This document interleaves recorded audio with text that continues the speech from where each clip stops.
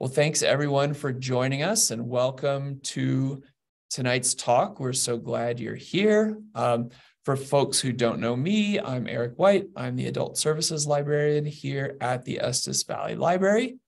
Um, I'll just say a few quick words about the series that this program is part of. Um, so every year uh, since 2011, the Estes Valley has celebrated community and literacy by coming together to be in conversation around a single book. We call this One Book, One Valley. Um, this year, that book is Finders Keepers by Craig Childs, and I'm excited to be continuing our exploration of the book and the perspectives and issues around it with tonight's program. We also have a number of great programs still to come. There's more information on the website, estesvalleylibrary.org.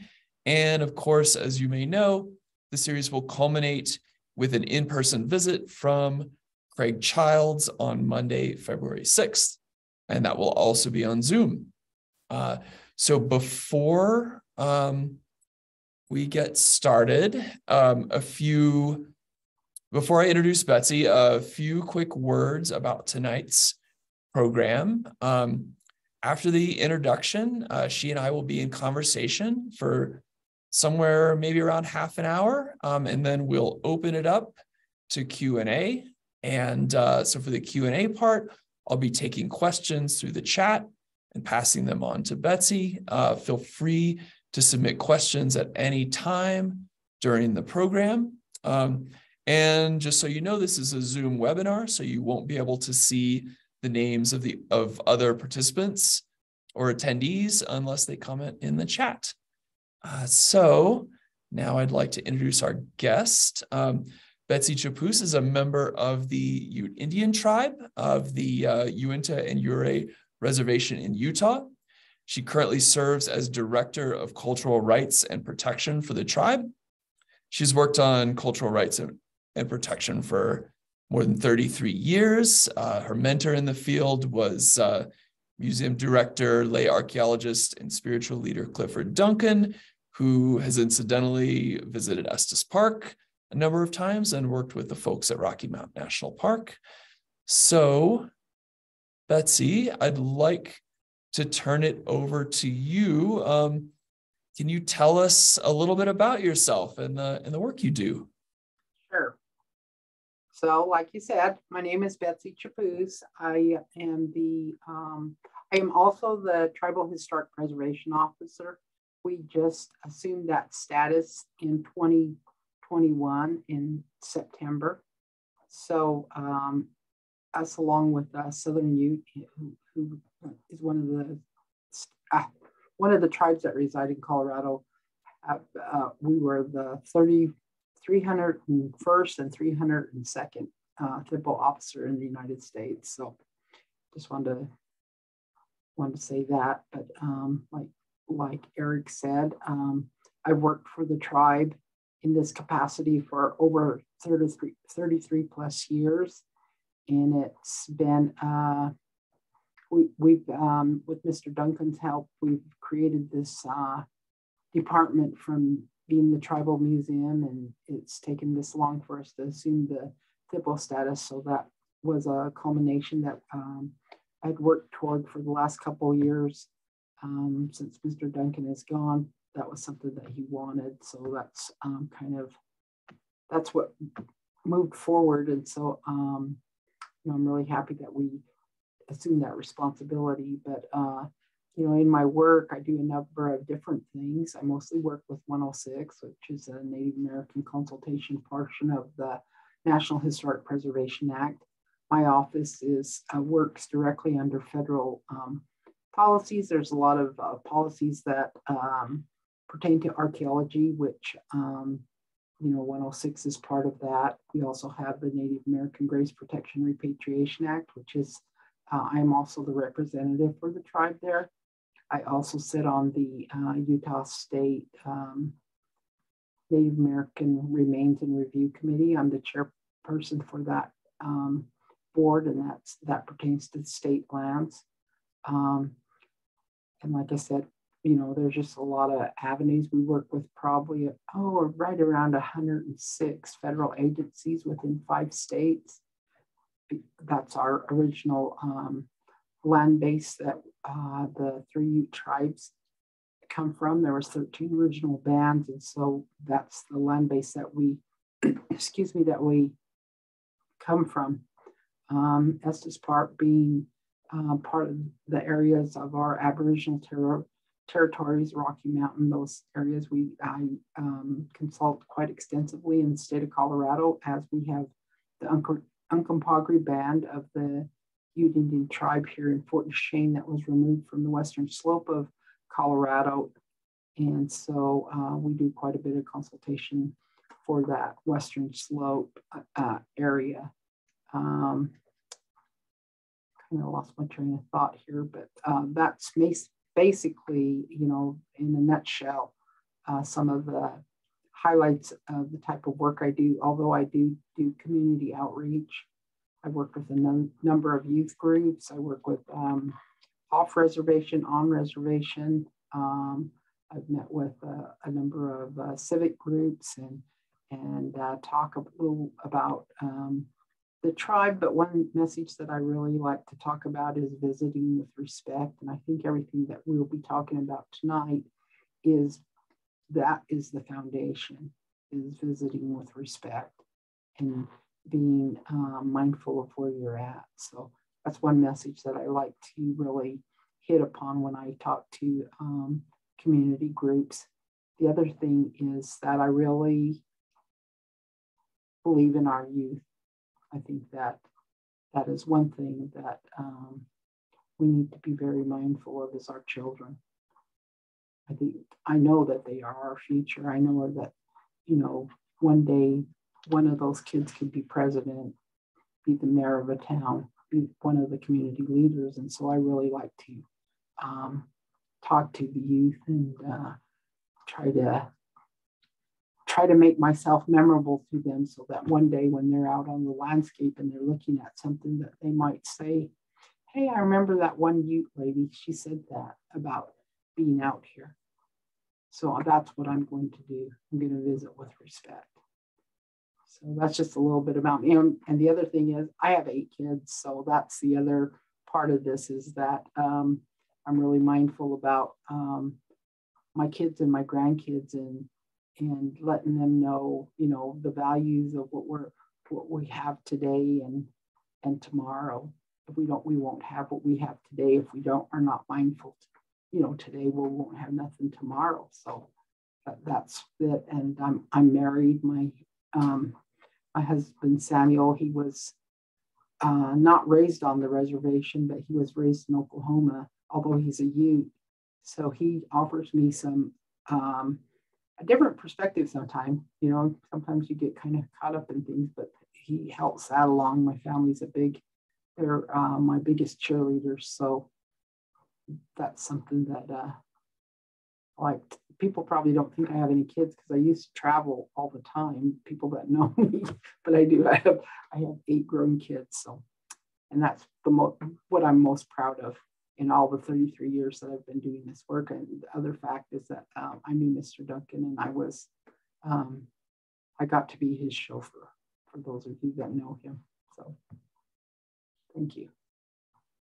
Thanks, Betsy. Um, and maybe tell us a little bit about how you got into the work that you do. Well, I originally started in our in the tribe's um, energy and minerals department, which handles the oil and gas. I was a clerk there.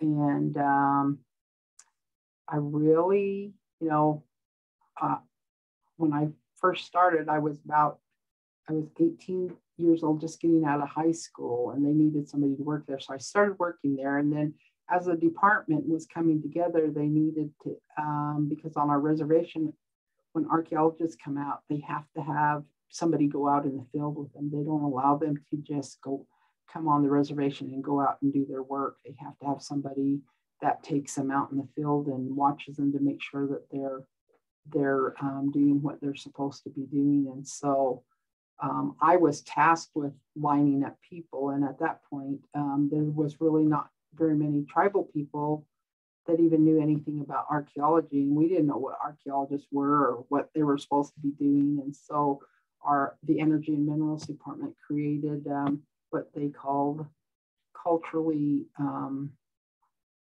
oh gosh, CC, CPPR, and I can't think of the name right off the bat, but culturally responsible people.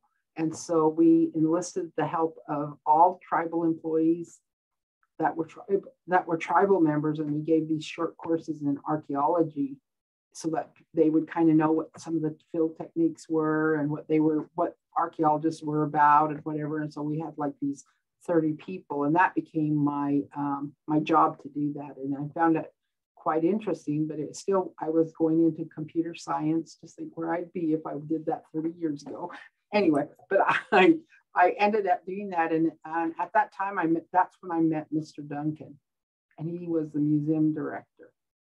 So I had been accepted to the University of Oklahoma, and I was going to go into computer science. And um, but I had also just married my husband too, and I uh, found out we were going to have have our uh, first baby, and uh, I ended up not going to school, and so I was out, I had quit my job at Energy and Minerals and this program that I was part of, but Clifford remembered me. And then he, he called me as his um, museum sec- secretary had just resigned, moved on to another job. And so that's how many, Mr. Duncan and I got met. And at that time too, it was just like these three worlds colliding because the tribe, the tribe recognized the fact that they needed to have, or the laws were changing in, in archaeology and we had to have somebody that could go out and do uh, 106 consultation and we didn't know a thing about that and i didn't know anything about it and so uh, that started my journey with mr duncan and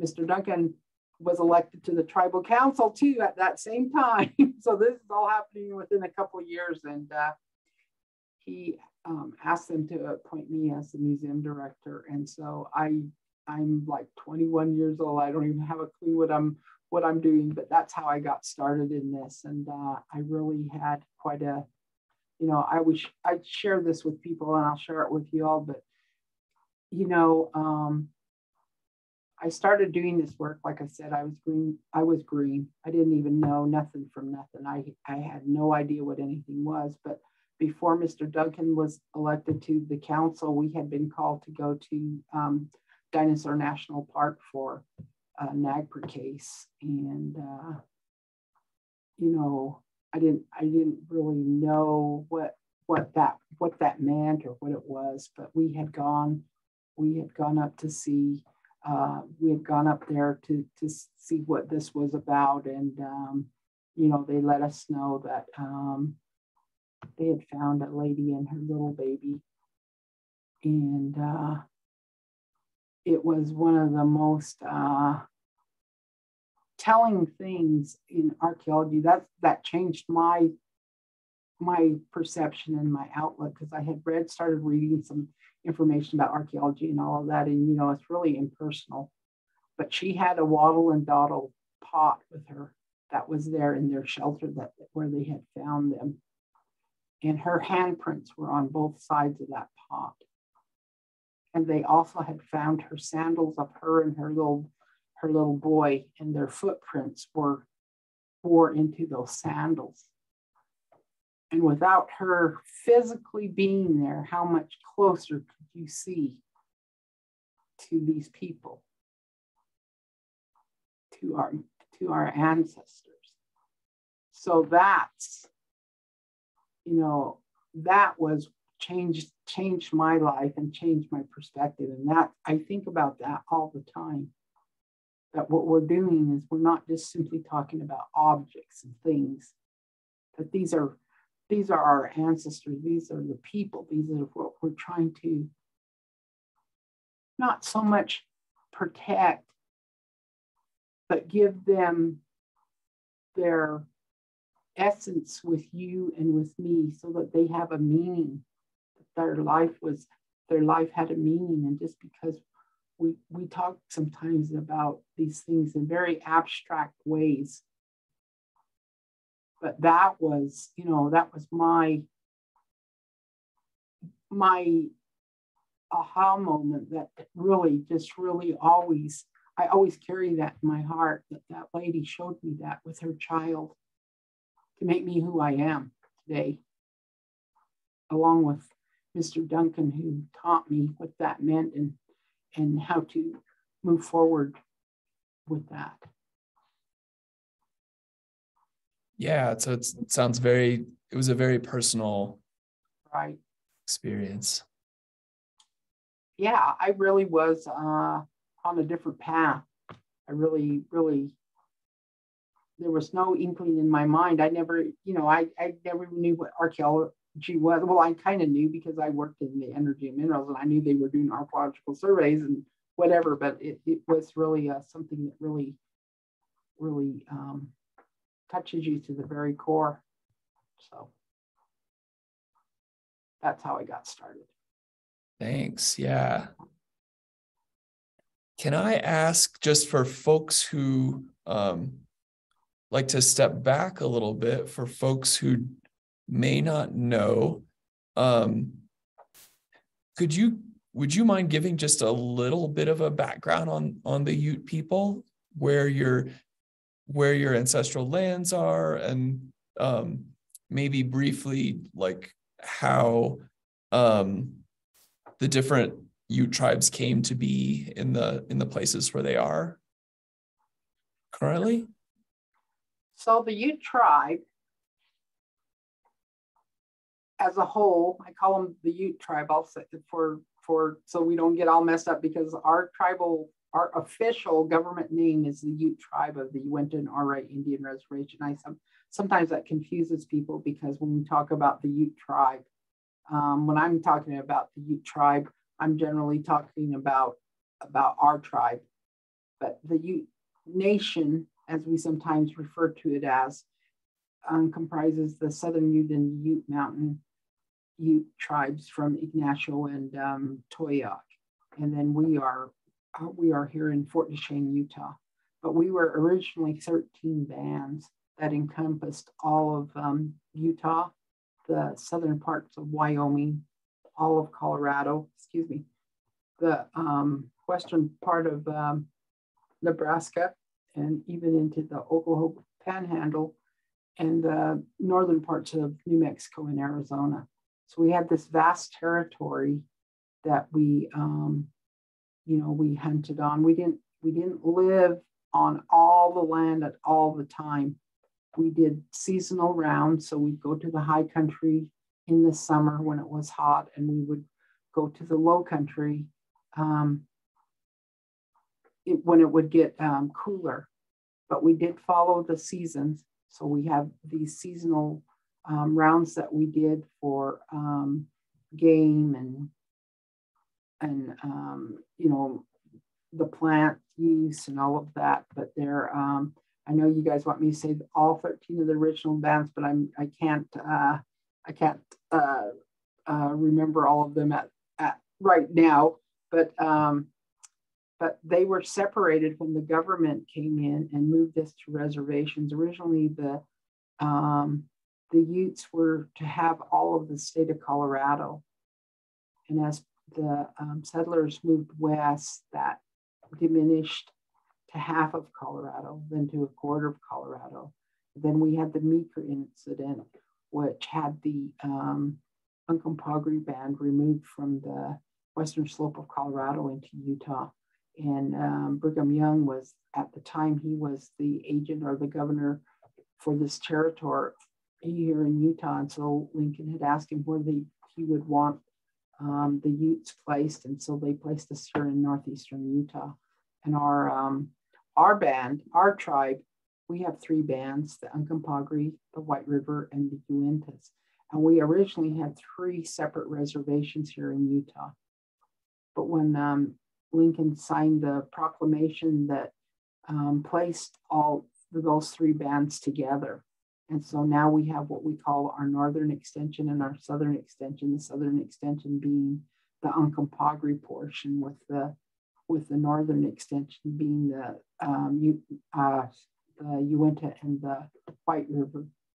So Southern Ute and Ute Mountain, they also are comprised of several bands, but they were pushed. And I don't know if very many of you know this, but the um, Mesa Verde National Park was part of Southern Ute's original reservation. So when they wanted to declare that as a national park, they took that portion of uh, Southern Utes reservation and uh, designated as national park lands and, and withdrew that from the Southern Utes reservation boundaries. And so our reservation here in Utah, we encompass almost 2.3 million acres. We have federal land holdings that are about 1.4 million acres within that exterior boundaries. Southern Ute and Ute Mountain. Southern Ute is checkerboarded much like we are, which means that we have lands that are fee and private lands, but we have allotted and tribal lands, much like Southern Ute. Ute Mountain has a, a solid land base. And I don't know, I'm sorry, but I don't know the acreages of both of those reservations.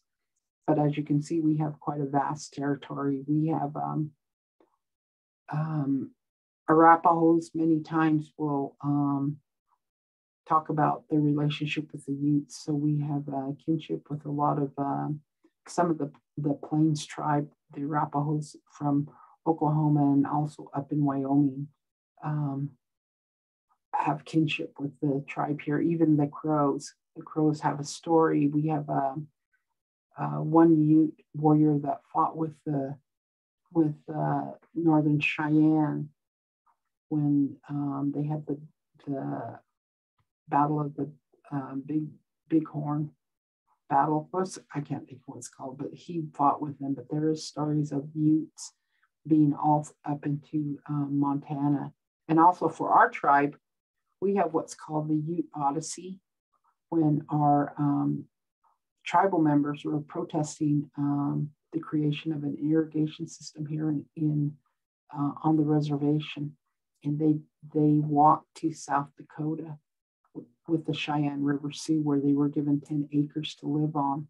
But they walked to southern to so the Southern Cheyenne tribe because they were in protest of of trying to control the water because you know like we say everything has an essence and water is one of the most important elements of that has an essence and they didn't believe that it was right and there within our culture, we don't do that to water. We don't try to capture that water. And that's kind of what they saw as the irrigation um, system as it was moving forward. So we do have some of our Ute people are buried at Fort Meade in South Dakota and also on the Cheyenne River Sioux Reservation in South Dakota. So that's just kind of all over the place, kind of a history because there's a there's a lot to it. So yeah, thanks for that. Uh-huh. Thanks uh-huh. for educating us on that a little bit. Um, kind of speaking of um, of some of the things that you just mentioned, um, I I know in previous programs we've talked about repatriation and why that's important and how tribes work with museums and other organizations. Um, but I want to step back just a little bit and and kind of go deeper into the the objects that we call artifacts.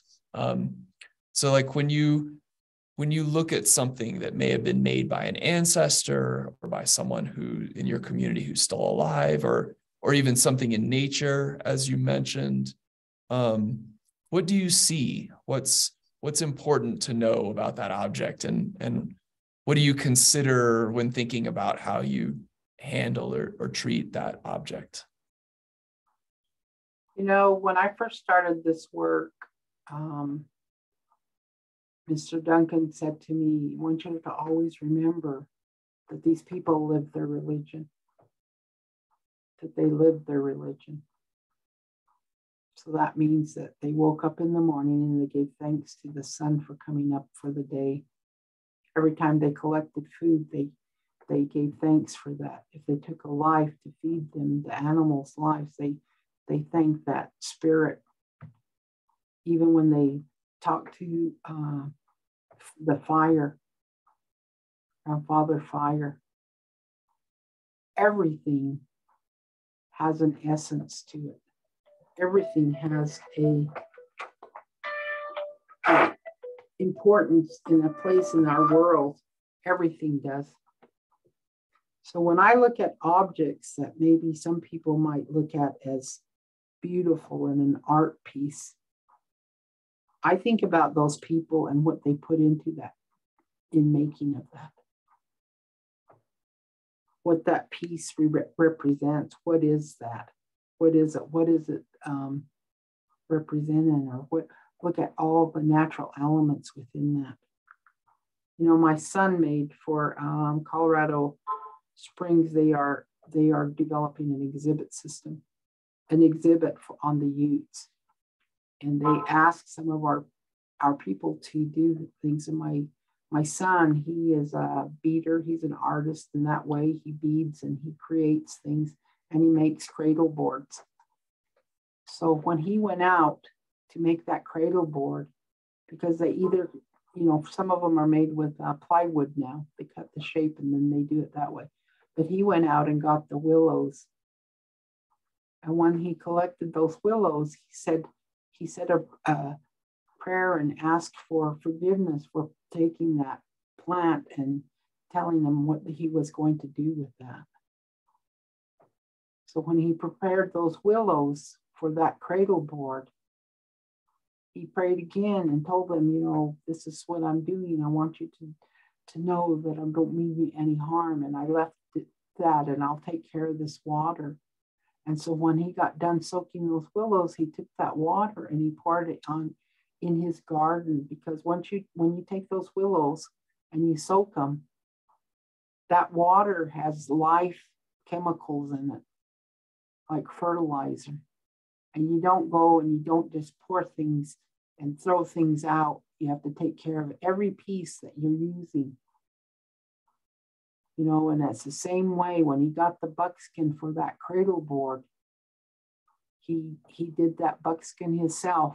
He smoked it, he tanned it, he worked it, and he thanked that animal for giving him that skin. That's what I see. You can walk down that line of every part of that. That's what I see. That's what I know that's the importance of why we say, you know, everything has an essence because there's a lot of that. And our people live their religion. That's a, something that we need to come back to as all of us, as all people.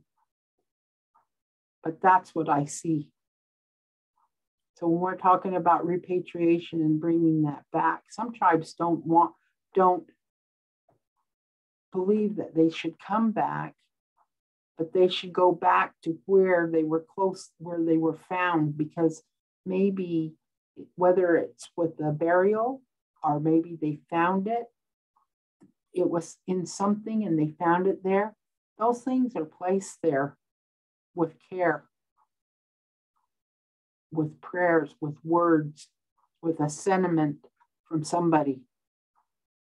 They were put there and they were told, this is where I'm going to put you away. That's what we call it, putting it away. That's what I see.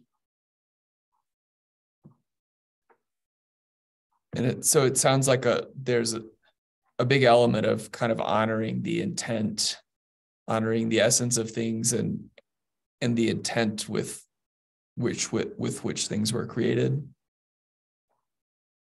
yeah that that would that's that's kind of it's um you know it's it's it's respecting that.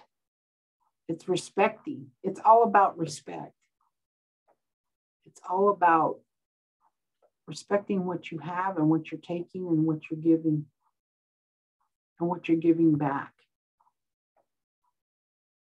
You know it's it's all part of that process of respecting life. And does that apply? Um, I think in, in our discussion, you mentioned how this can also apply to places. can you talk like um like you mentioned bears ears as an example can you talk a little bit about that yes i think um and you know i have a hard time with this in in this way all of these lands there's a bear's ears in it there's some place that's special that means something to maybe you, to maybe me. Maybe it's your grandma's house. Maybe it's your your dad's place, your dad's ranch. Maybe it's something along those lines where, where a place that you can go to heal, to rejoice, to grieve, to find inspiration. there's there's that kind of a place for all of us. But you know because we live in this type of a world we live in that now we have this place called bears ears. But it's um bears ears is a is a special place. You, you can see that from all of the um all of the uh memories that were left there you know when when when you see these broken pots and things like that, you know that there were people there. They were doing things, and it is uh, is is a place for for um, people to come together and um, heal themselves if that's that there's if that's what they their purpose but um, you know, I'm, I've, um, right now I'm working on, working in, with two different groups on um, writing some management plans. And so my, I kind of got off those phone calls today, but you know, that's where my, my mind is going is because we're asked these things in a very linear way. We have these federal processes that are very linear, very linear but we as Native people, we see things more circular because it's forever going on and on. And so, um, you know, in talking about bears ears, that's kind of what we're trying to perpetuate is, is this place of um, that can give you healing, can help you with your with whatever it is that you want help with. And it's a very special place for a lot of tribes. And uh, you know, it, it's that same way that we um, our office we I we because we work with a lot of federal agencies and this is federal lands. I always tell them, you know, we we manage comprehensively. As tribal people, we I believe that we all manage comprehensively because we're, we're not like uh, Maragat people, Maragachu, you guys are Maragachu, where you can take the, the sunlight from the water or the land from the water and you can put them in these boxes and you can address these impacts to water, to soils, to all this in my world, those are all interrelated. You have to manage for that landscape. And that's kind of what we're talking about with um, Bears Ears, is it's a very, you have to look at the full picture and the comprehensiveness of that. And everything that we do to that landscape, we do to things on that landscape. So that's how, you know, I see these places and again, like I was saying, you know, you might have that, you may not call it bear's ears, but you call it something and you do something to that, it's going to affect the way that you interact with that, that um, what it is that's special to you. And that's the same way these things have been happening. This, this area has been molested for so long that uh, we have to bring it back we need to bring it back so that it can be utilized for what what it has and all the resources that it has within that natural environment.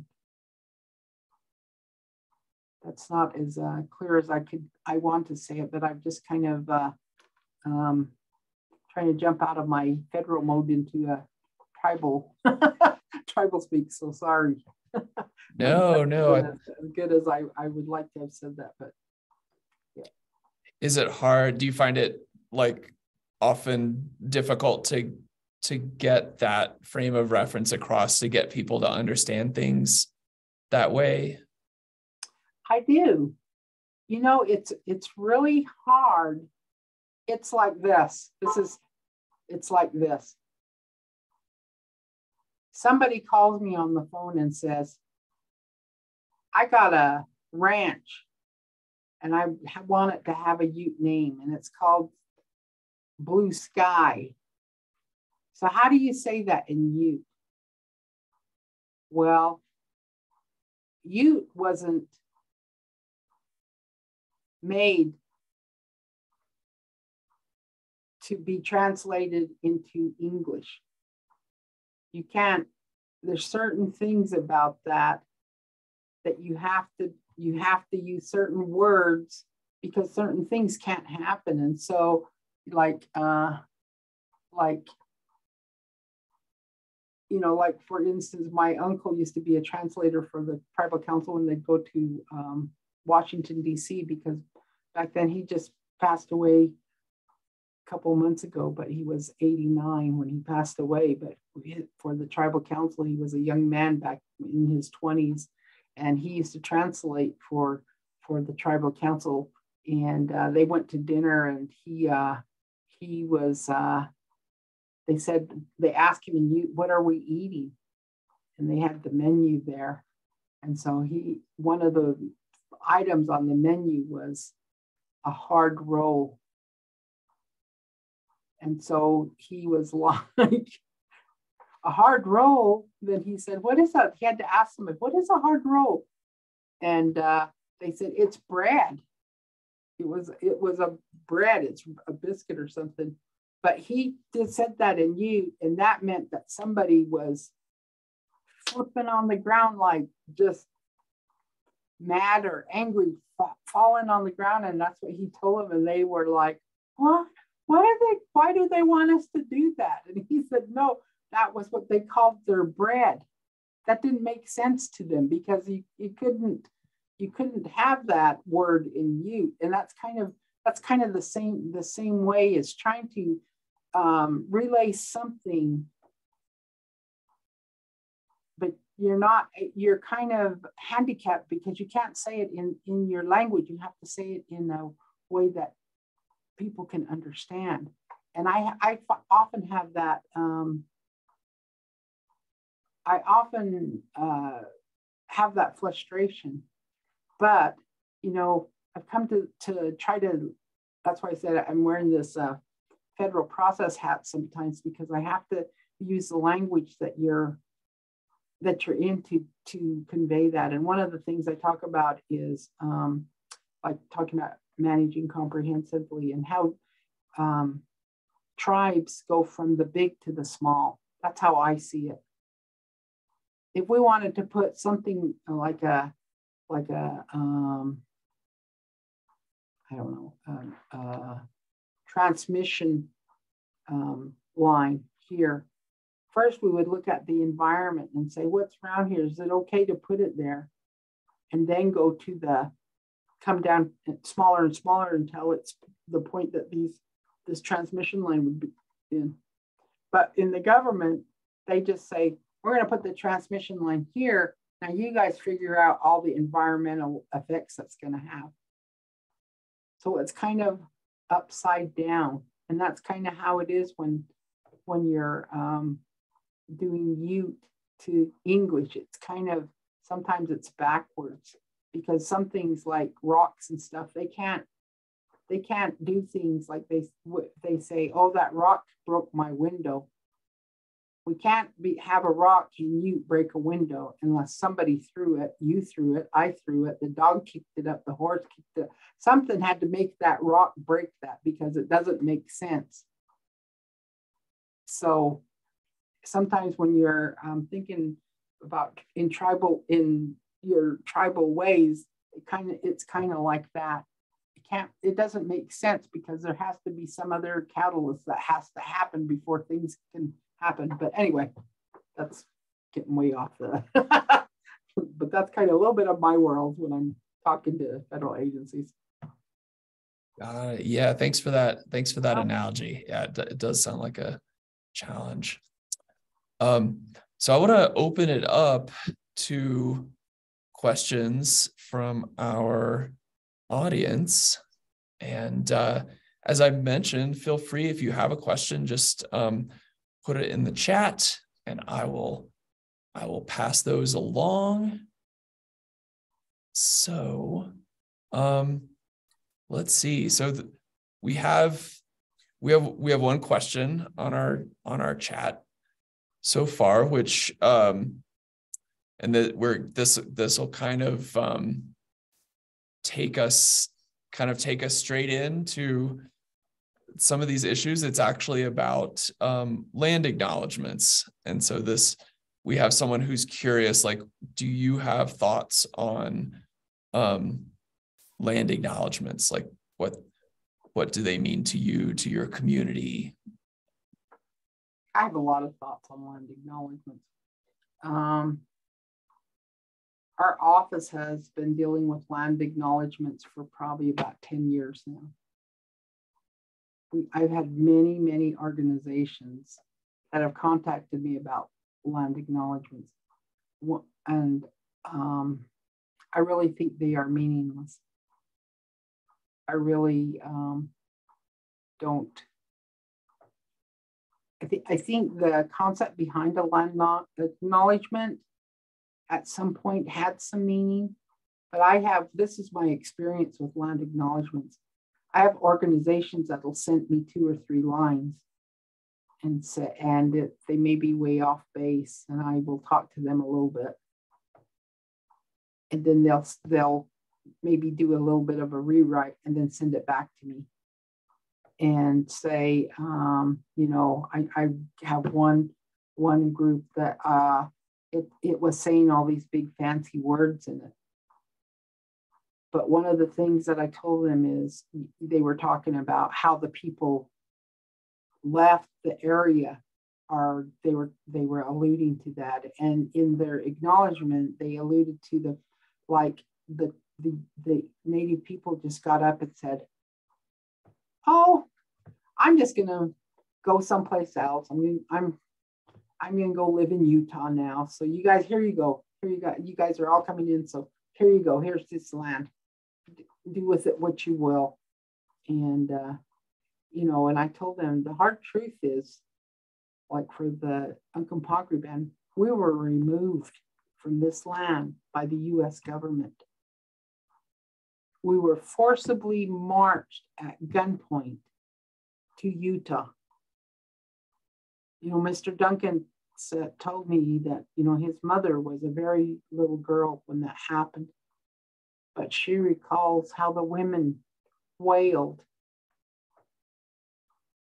wailed as if somebody had died when they were moving them to someplace that they did not know anything about.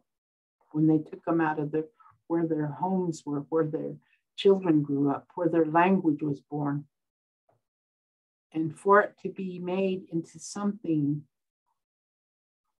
that casual of, you know, selling our house and moving on to another place I just couldn't get this group to understand that. We emailed back and forth three or four times, and I just finally said, you know what? This isn't my acknowledgement, this is yours. And if that's what you want it to read, fine, then do it that way.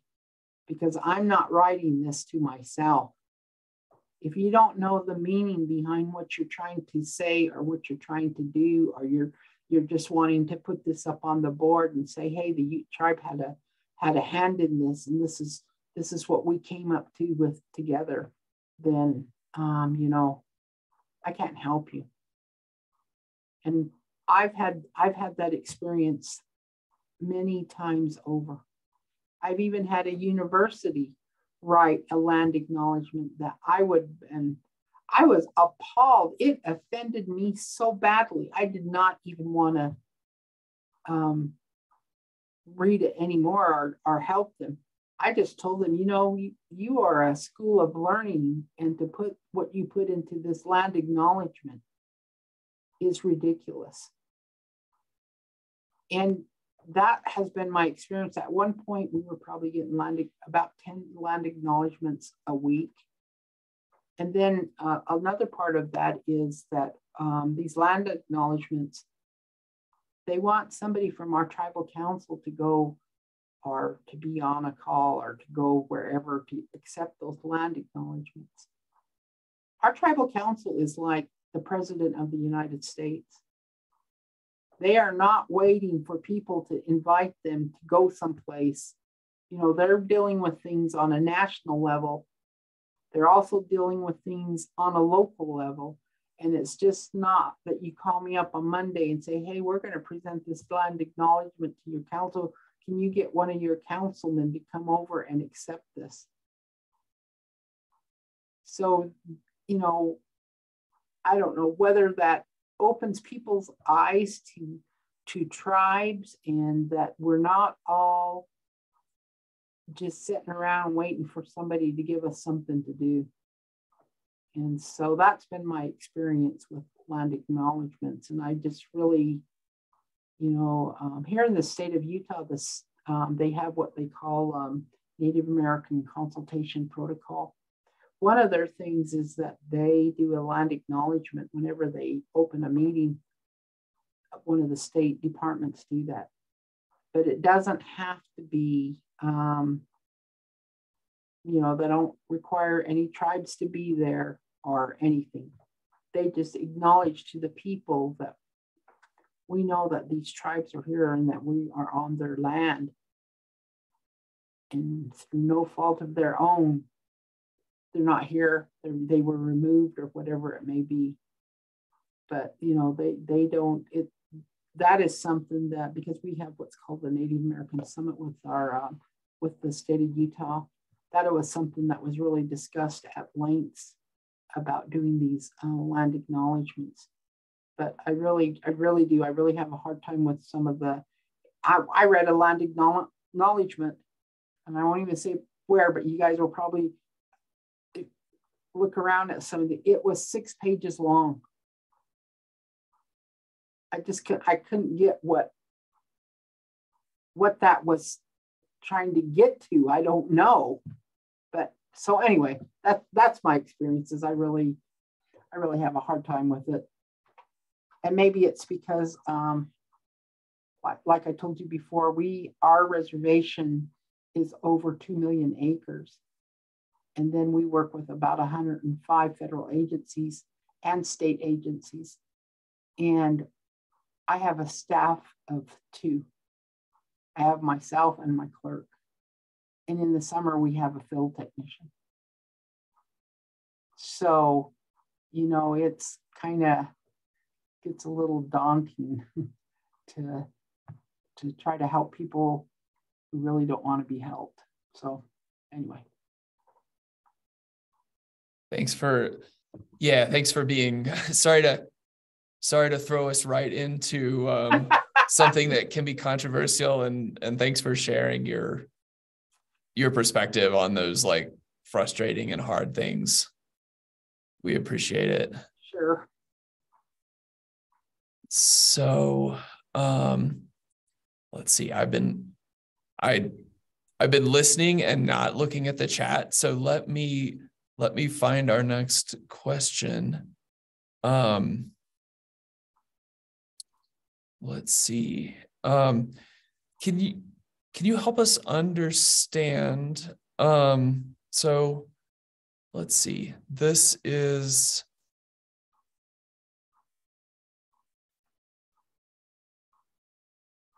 someone would like to know um, can you help us understand how to most respectfully think about the fact that your ancestors hunted and utilized the Estes Valley, where we now live, instead of um, instead of your community, and how can we behave most respectively, most respectfully day to day here?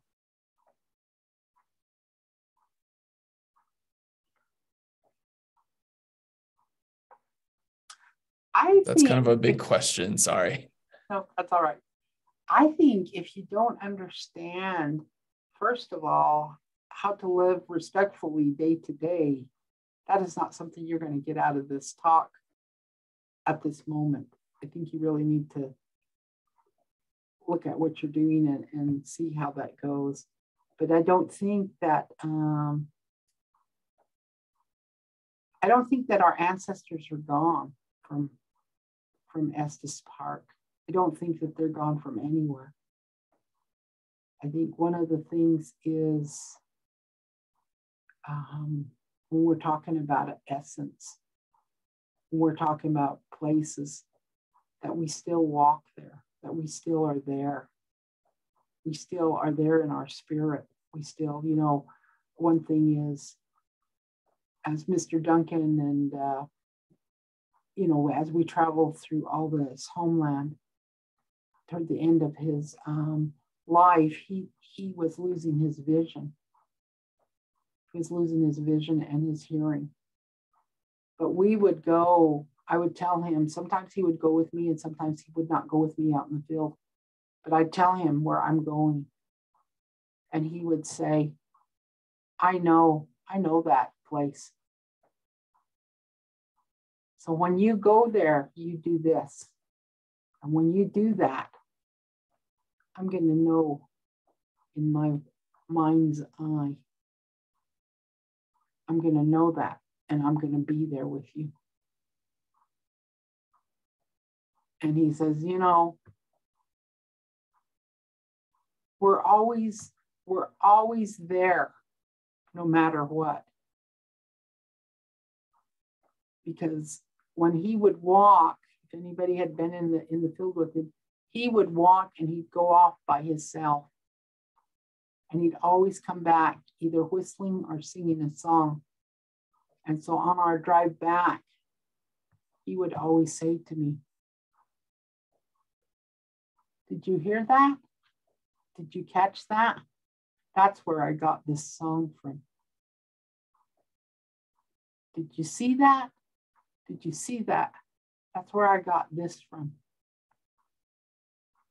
So don't think you ever can remove that. That's just like wiping your memory out. Just like you, maybe, again, coming back to your family. There's somebody very dear to you, and you go back to where, where you remember them or great hunting spot with your or a great fishing spot with your grandfather and you stand there you get that feeling you can feel that. You can maybe your grandpa's been gone for a while you, you get that. You can feel that. They're still there. And that's the way you should treat it as if they're still there. Be mindful be respectful. That's how you can that's the biggest thing that you can do is be respectful when you're there. And teach your children, your grandchildren, the same thing.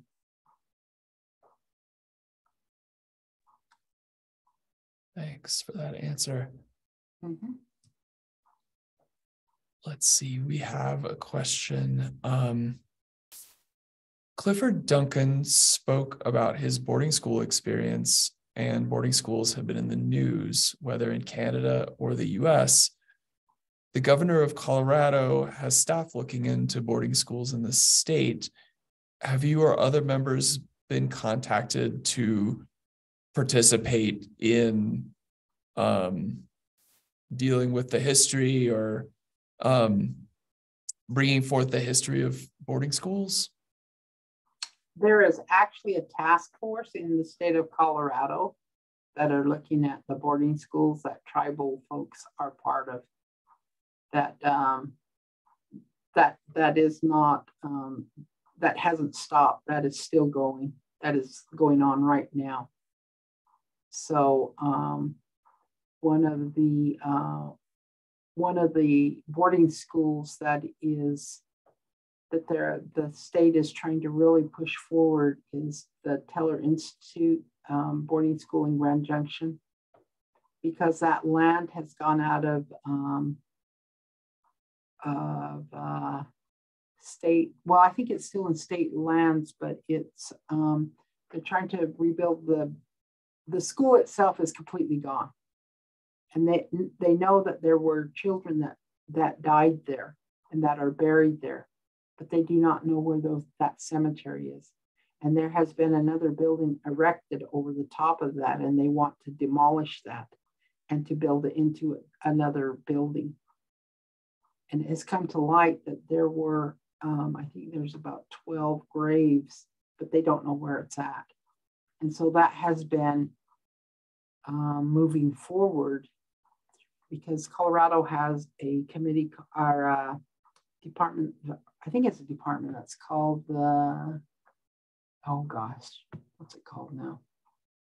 we we have an Indian Affairs office here in in this under the state government here, and Colorado has this has a similar office, but they are the ones that deal with uh, Native American human remains on state lands in Colorado, and so they're pushing this forward to try to help find um, where the cemetery may be in, for this Teller Institute. So it isn't.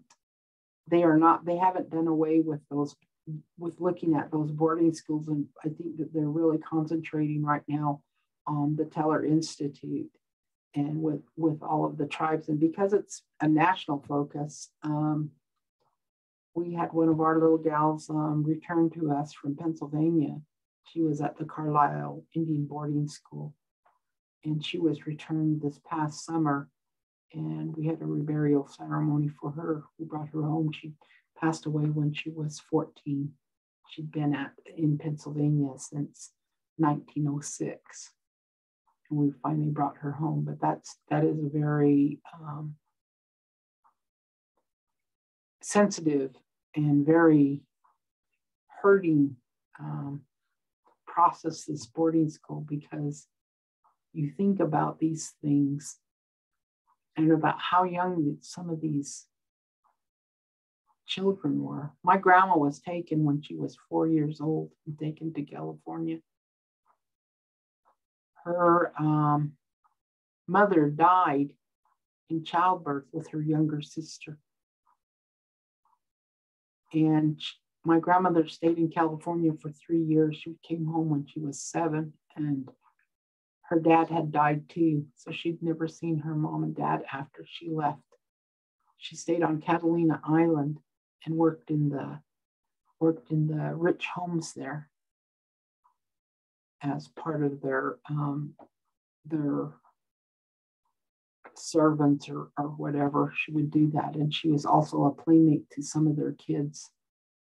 But she came back when she was seven. And uh, so it was just her and her um, sister, and they were raised by by their dad's um, brother.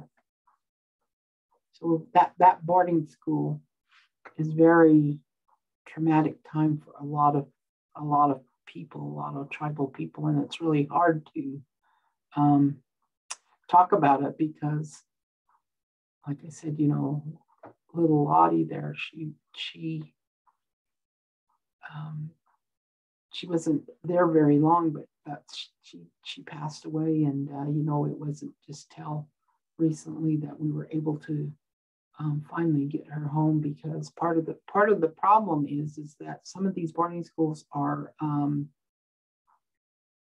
like the like the churches like Catholic Church was a big part of some of the, these creations of these boarding schools. Other were military based, much like Carlisle. So if the military is handling that and they don't want to utilize NAGPRA, which is a federal law, and there's no funding from the United States government to return these these children. And so that's another, you know, funding is another um, reason why some of these are not they are not being held up in and in, in you know they know it's there but they don't have any way to fund um, getting these children back to to their families or to their tribes and some of them have been taken over as state lands those lands that these boarding schools were on were converted to the state. So now you're dealing with the state and how are they going to fund it and how you got to fall underneath that state um, governments in order to move that forward. So yeah, thank you for that question. Yeah, I'm I'm glad the I'm glad you were able to get the little girl home and thanks for being willing to talk about talk about that and share. Yeah. We appreciate that. So I'm gonna bring it, I might bring it back a little bit to um artifacts and and objects on nature. Um I remember in in our discussion, you know, you talked about whether um like whether you can use something for say food or for medicine depends on how you approach that um, if i'm if i'm getting it right uh, if i'm if i'm remembering correctly um, like i think you gave an example of like um, like, like using strawberries or something like that for for food or for medicine and you know if if somebody had had run cattle through there. You know, it. Can you talk a little bit about? Excuse me. Yeah. Sure. So you know that's um, when I was talking about looking at um, these at a land landscape um, view or maybe a bird's eye view, you know, you're looking at the complete area. Certain certain things, certain ways, you have to have a, a certain type of environment to use it one way or the other. So when you have areas that are um, you know, like you're talking about cows grazing in there, and you might have a plant that may be used medicinally, but who wants to be in there with when you've got cow, cow manure all over the place and whatever. You use it a different way. And the other part of that is, is the way that you capture that plant, the way that you're going to use it, because you you got a way that you're going to use that, and you got that in your mind, and you know that you're it's there and it's in that place that you can do that. And that is the way, because you because I talked earlier about thanking for things and how they live their religion, how we, you know, that's where we want to be again. And and that's the way you you approach that. Much is you if you want to use that for medicine, you want to talk to it and say, hey, I need your help. I want you to do this my granddaughter, she's sick. I need you. I need you to help me. I want you to stay in there. I'm not going to hurt you. I want you to come home and, and help out my, my daughter, my granddaughter, whatever it is. And you you pick it and you collect it in a certain way. Same thing for food. I'm going to take you. I'm going to take some of this that you have. I'm going to nourish my body, nourish my family. Help me with that. Keep them healthy. Let them have a strong mind. It's all about that respect. That's that's the same way that intent of what you're going to do with that.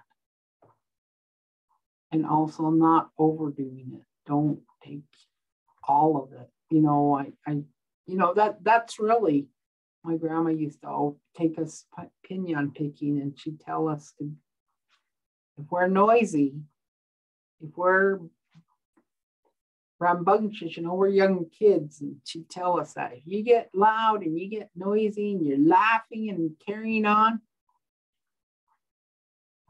that's going to be an empty shell we're going to get. So when we go we'd have to be very quiet. And we'd have all our tools and things we're going to bring the um, and she would say when you threaten to get those cones you don't bang it like this. You be nice and gentle and talk to them. So we'd have to be that way when we go because if we had empty shells then we were the ones that were naughty and didn't do what we were supposed to do. We didn't do it right. But, you know, my grandma used to always tell us those things when we were going out with her to to collect stuff that how we were supposed to do how we were supposed to present ourselves, how you know, even even the way you're dressed is part of that. Respecting, respect. Anyway.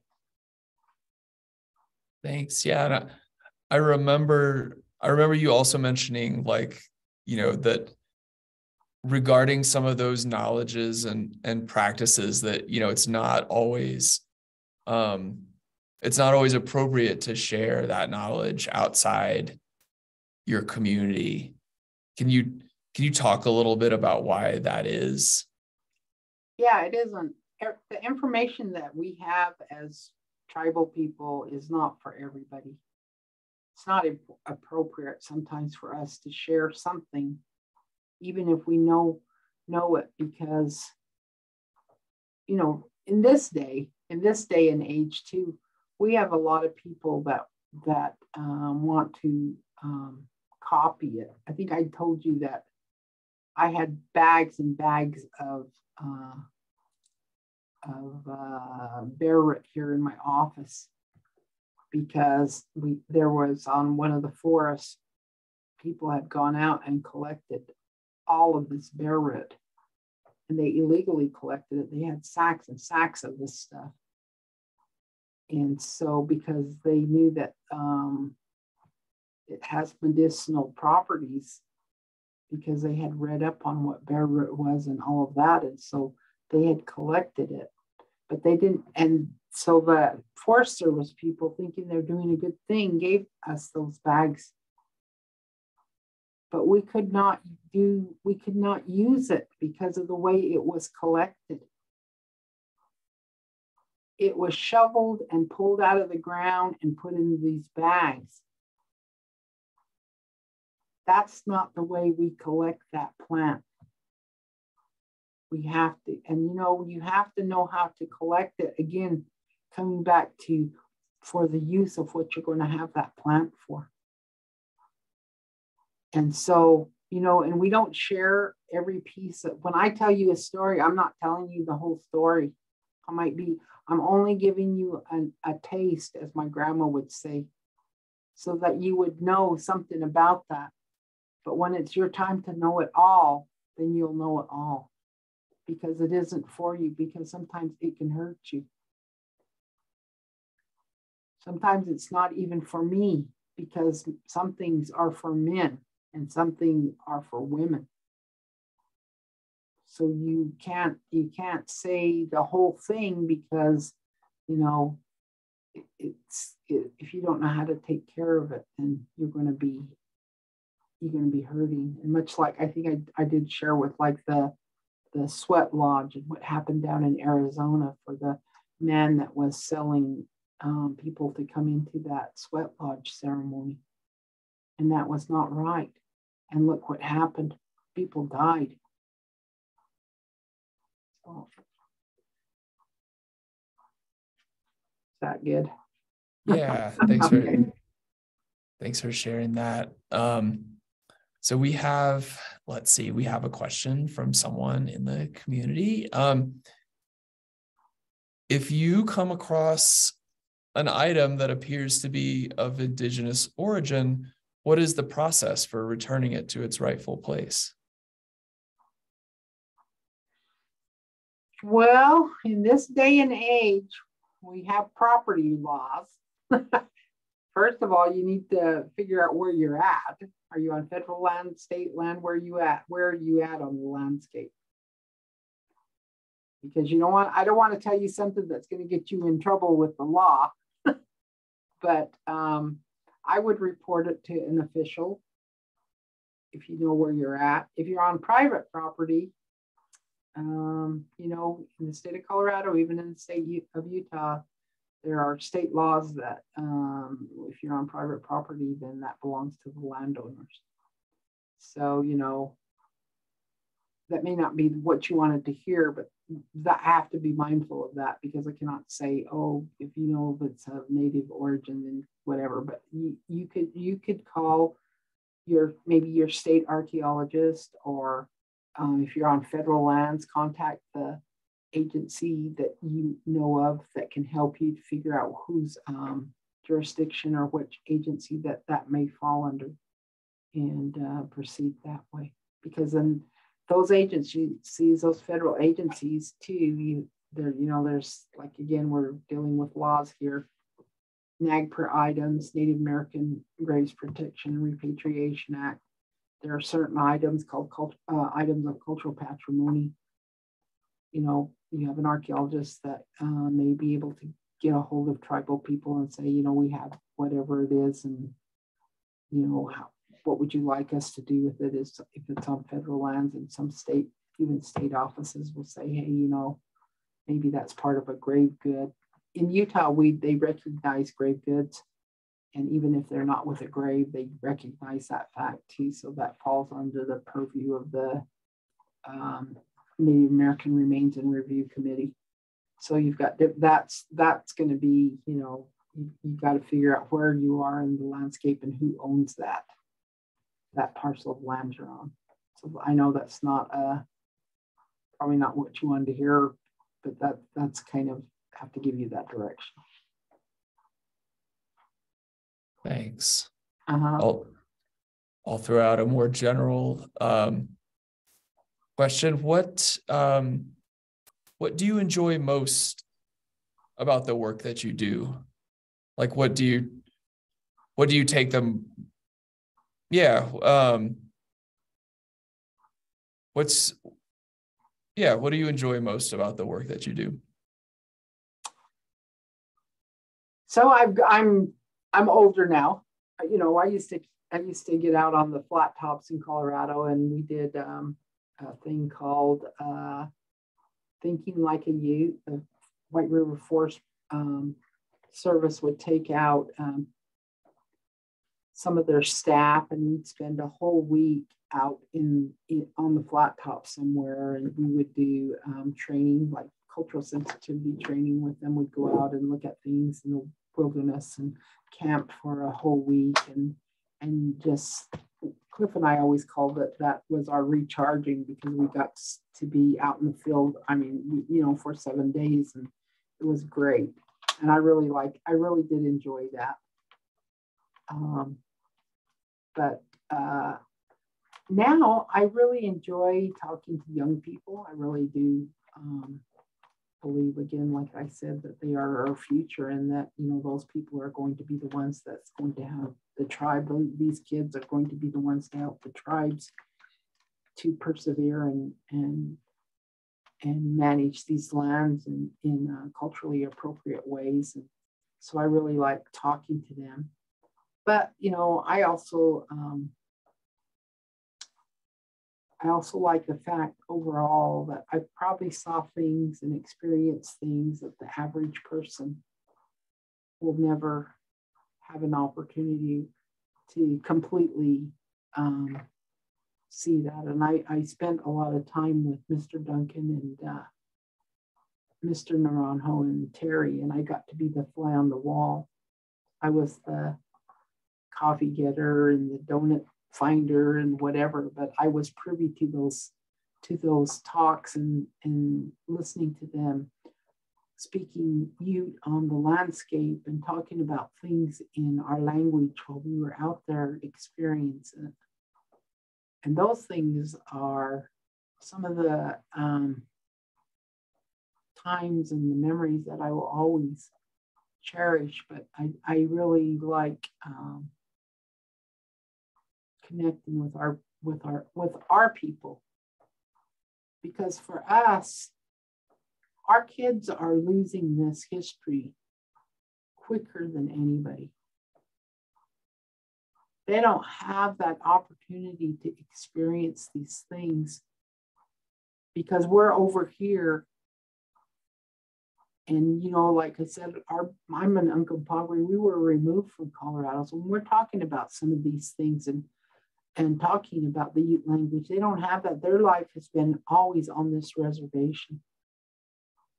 And, you know, uh, the reservation is like a petri glass dish. Things that happen in that in that confined space are at a higher rate than what they do across the open areas. I'll give you an example. You know, unemployment. They say, oh, unemployment's seven percent. Well, here on the reservation, where we used to be about 50%. You know, our young people are taking their lives at a higher rate than, than most um, people out there, and even in the inner cities. So there is a lot of things that, um, you know, I, I've had a really good, I've had a really good life. I've had a charmed life. I, I've been able to do things and I'm trying to um, spread out and give that experience to other to to the younger children people here too on the reservation and also um, for the larger society their their children because that's where it's going to happen that's where that coming together is really going to make a difference because it is it is so apples and oranges but i do i like working with younger kids i like working with people I like to be surprised and people tell me things and I get to tell them things. And, you know, I'm in the time of my life where I'm a grandmother and a great grandmother now. And so I really like that. I really like being where I am and and having that knowledge. And I'm that's what I like about my my work, you know, as I've been able to. And I'm fortunate that I could have worked in the same same position, doing the same thing and having the growth that um, our office has had and the growth in myself. This is something that nobody really know, knows about me, but um, so I wasn't an enrolled member of the tribe until I was in my 20s because the Ute tribe here in Utah, we have the blood, highest blood quantum for our tribal members. You have to be five eighths. That's high. You have to be more than half to be enrolled in the Ute tribe here. Most tribes, it's a quarter or a 16th. So I wasn't enrolled. I'm an only child, and I was only raised with my mom. So I went through high school here at the public high school, and I'm brown, but I'm not a tribal member when I'm growing up. So a lot of things were geared to tribal members. So they would pull me out of class to go do these great and wonderful things. And then they would like, oh, but you're not enrolled. You have to go back to class. So I had that experience all the way through high school. I really grew to resent the tribe. I really grew to be, you know, I didn't want any part of them. I didn't want to be part of that. They didn't want me. I didn't want them. That was kind of how I grew up. And I've I was very, very shy because I'm an only child, only with my mom. I just, I'm an only child. And so I really had this really, I guess, a chip on my shoulder, basically. So um, when I started working for the um, Energy and Minerals Department, it was because my aunt worked there and they needed some um, clerical help. And uh, so she they hired me as a summer youth and I went there and I started working. And from that, I grew this where I am today. But, you know, that's something that nobody knows. But I know that if you nurture and you um, provide opportunities, that people will uh, see your side of it and they may step up to help you. And that's how I got to where I am now. And I am enrolled now because uh, uh, you know, things changed and and I was able to get enrolled. And so I am an enrolled member now. But you know, things there are things in ways that you can affect other people's lives. And you know, we have to all be on the lookout for that. So anyway, that's something that I've never told other people, but I'm t- I'm telling you. So I, I would just want you to know that, that you can make a difference in people's lives. Thanks for sharing that and for sure. yeah, for giving giving that gift to us. Well, so I, I appreciate oh, sorry, go ahead. you guys listening to me. You know, that that's a that's another thing is I appreciate you really to um, listening to me. I uh, again, you know, I'm I'm at that stage in my life that I'm just uh, realizing uh, that um, I'm a grandma and a great grandma, and and that's why my grandma used to talk so much. anyway. So speaking of that, speaking of kind of that, um, speaking from that perspective, let me ask like a final a final question, which is just, um, is there anything else you'd like us to know, or anything that we should have asked? I just I would like you to know that um, I think there's a lot of hope. I talk very doomsday sometimes, and I think that every everybody in in being curious and all of that is all good. It's all it's all good. Um, we as people need to be people. We need to make that recognition. And I know that there's a lot of um, diversity out there, and I I do um, find it quite fascinating to know too that um, where you come from or other people come from and how they got here and how that worked because um, we're all people at the end of the day but um, you know as far as as consultation and tribal working in this realm of cultural resources that um, all indians are not alike we all have our own ways and not everybody you know, is the same. And so don't group us together. Don't lump us all the same. Even as the three Ute tribes, I think somebody said something about federal tribes. Where I just said that there was two Ute tribes in Colorado, and we are all there's three Ute tribes, and then we are all federally recognized. But um, you know, even us as the three Ute tribes with our 13 bands, the bands are a family system. And so not all the, the bands do the things the same way. It may be a little different from family to family. And even the Ute tribes, as far as our cultures, we may be the three sister tribes, but we do we do things a little different. So, you know, that that that recognition that we're not all the same is one of the most important things. And if you won't lump tribal people together, then I don't think you'll um, put your foot in your mouth too often when you're around tribal folks. So, but I do invite all of you to come to. We have a powwow at the end of the, of June. It's open. It's free. You know, the tribe celebrates since we've been in the pandemic. We've um, last year was the first time that we've had started having powwows. So we do powwows here, and that's in summer. The last weekend in June. So you want to see some youth dance, come on over. We have the bear dance. We have three bear dances in the spring. That's our, um, that's kind of like our new year. We have uh, bear dances um, welcoming the spring to the earth. So, yeah. Thanks. Yeah, thanks for that invitation. Sure. Might, might take you up on that. And sure thanks and thanks again for the for the gift of this conversation and and yeah sharing and you know being willing to talk about some of the some of the hard things that we've asked about and yeah thank you thank you so much for taking the time sure.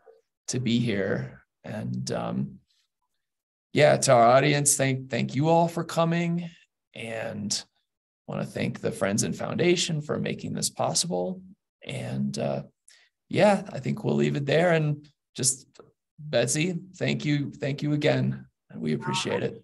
Thank you. I got a shout out to Sue. I haven't saw her for a thousand years. She works for the Rocky Mountain National Park too. So Sue Langdon. So good to see you. Not see you, read you, whatever. All right. Thanks. All right. Thanks. Have a good night, everyone.